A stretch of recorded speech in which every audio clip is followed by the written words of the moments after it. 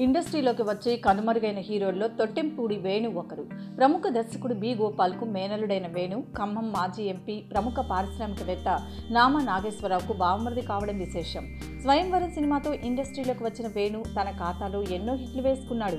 Venu career graph గమనించిన చాలామంది వేణు చాలా రోజులు కంటిన్యూ అవుతాడని అనుకున్నారు. అయితే టాలీవుడ్లో యంగ్ హీరోల పోటీ బాగా ఎక్కువ అవడంతో వేణు తొందరగానే ఇండస్ట్రీ నుంచి బ్యాక్ అవ్వక తప్పలేదు. సోలో హీరోగా కాకుండా వేణు ఇతర హీరోలతో కూడా కలిసి నటించి మెప్పించాడు. దమ్ము సినిమాలో ఎన్టీఆర్కు బావమరిది క్యారెక్టర్లో కూడా మెప్పించాడు.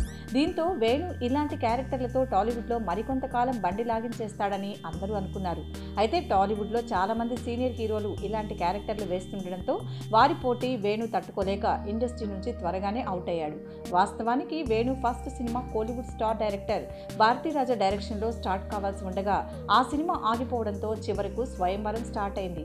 ఇక సినిమాల్లో ఛాన్సులు కావడంతో వేణు ప్రస్తుతం తన బిజినెస్లపైనే కాన్సన్ట్రేషన్ చేస్తున్నాడు గతంలో వేణు నిర్మాతగా మారాలని అనుకున్నా ఇక్కడ పరిస్థితులు సరిగ్గా లేకపోవడంతో ఆ నిర్ణయాన్ని వాయిదా వేసుకున్నాడు